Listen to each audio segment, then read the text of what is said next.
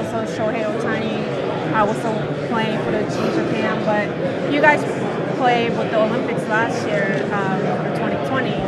Uh, but if you guys gonna face the Team Japan again, what would be kind of like tactics to? I'm not telling you.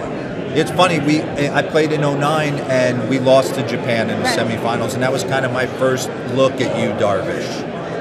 Um, not surprised by their talent. I mean, Ohtani's you could argue he, he's the best player in the game, right? Best player in the world. What he's able to do.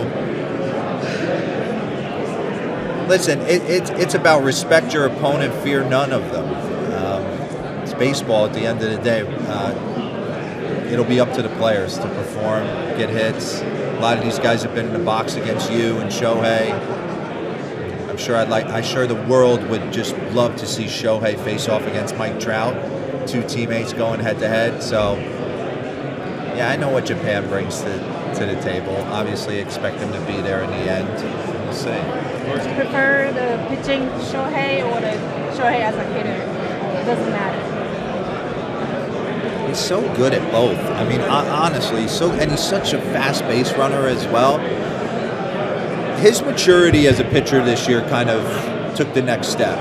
I mean, because he's not a guy who, when he doesn't have his blazing fastball, is not going to be effective. He, he's got a split, got the slider, he's got a feel for what he's doing out there. Um, yeah, so he took the next step. We did the All MLB team yesterday. He was first team pitcher, second team DH. I mean, it's crazy. It really is crazy. He's playing like what we used to do at 12 years old in our town little league. He's doing uh, against the greatest players in the world. So, nothing but nothing but respect. Maybe you're gonna ask Trout a lot about how you how to. I'm sure he's gonna. Yeah, well, I'm sure we'll have some secrets in there.